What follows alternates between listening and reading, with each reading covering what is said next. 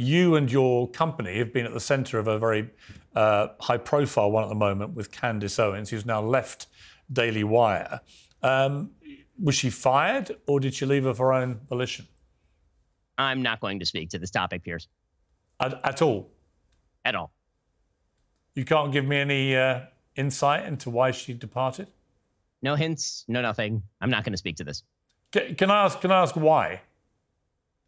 I mean, you can ask. No, no, I'm not. You Can ask why you don't want to say anything? Um, again, you can ask. I mean, I mean, I only, I'm only curious because I know what a, a staunch defender of free speech you are, and it would surprise me if it had been someone's opinions that would make you want to part company with them, however contentious. I mean, suffice it to say, the only thing I will say is what I've said all along with regard to Candace or with regard to any of our other hosts. I am not in hiring and firing position with the Daily Wire. I'm a co-founder of the Daily Wire. I'm a co-owner of the Daily Wire. I'm not actually in management. Jeremy Boring and Caleb Robinson are in management positions with regard to Candace or anyone else. And as far as the free speech situation, what I will say is that no company has the obligation to literally pay anyone. The, the Daily Wire is a, is a publisher, it is not a platform. I've never called for Candace or anyone else for that matter to be banned from YouTube, to be banned from X, to be banned from any platform. That's a different story, obviously, when it comes to any publisher. Any publisher gets to make decisions about what it wishes to uh, what it wishes to purvey and not. I mean, I'm just not going to labour this, but one more point I would make is it's been reported extensively that the reason for her departure was because uh, her comments have been perceived by people at the Daily Wire as anti-Semitic. Again, I'm I'm not going to comment on this, Piers. Okay. Rabbi Shmuley, would you comment on him? Because Jeremy has actually commented on Rabbi Shmuley. He said, I've avoided commenting publicly on Rabbi Shmuley because, as far as I can tell, the man is an attention whore of the highest order. Is that the general position of the company on Mr. Shmuley? I mean, that, that, that's my personal position for sure. I mean, I, I think that, you know, Rabbi Shmuley happens to be a person with whom I agree on some matters related to, say, Middle East policy. And uh, I, I also believe that his devotion to camera and notoriety have made him do some untethered things in, in recent days.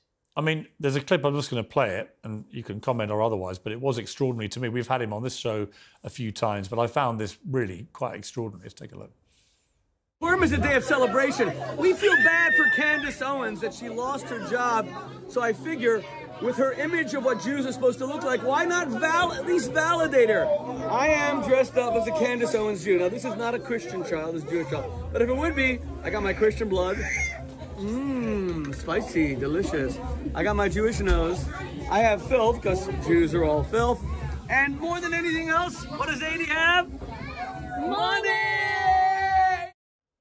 I mean, what is your reaction to that to that clip? I mean, the phrase in Hebrew is that's what we would call a chilul Hashem, right? It's a de- it's a desecration of God's name, and that sort of behavior is is disgusting in any context. Uh, and uh, frankly, I don't know an Orthodox Jew who feels differently about that. Not one. Do you think he should be given airtime anymore, Rabbi Shmuley?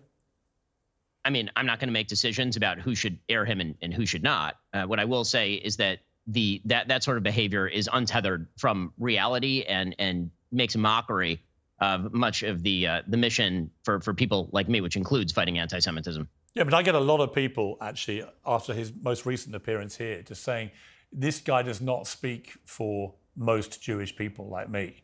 And they, they write in their droves and they say, please stop having someone on. Well, I mean, that, I mean, what he's like doing a, there certainly doesn't speak for literally any Jew that I can that I've heard of right. or know.